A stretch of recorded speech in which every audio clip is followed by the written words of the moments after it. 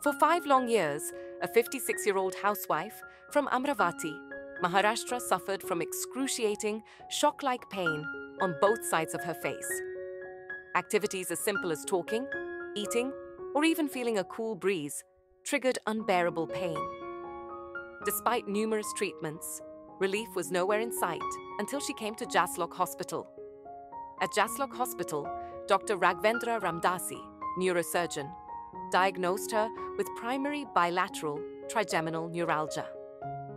This rare condition, with only 24 cases reported in the world, had never been reported in India before.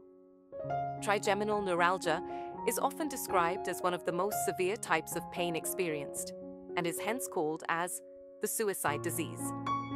Even the actor, Salman Khan, was diagnosed with trigeminal neuralgia, but it was unilateral, that is, one sided.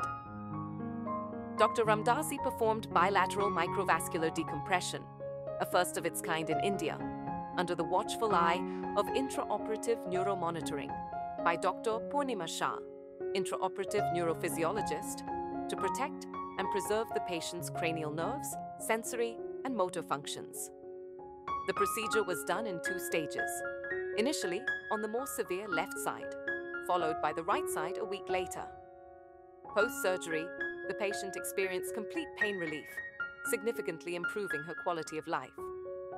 Six months later, she continues to live pain free, able to resume normal activities without fear of pain attacks.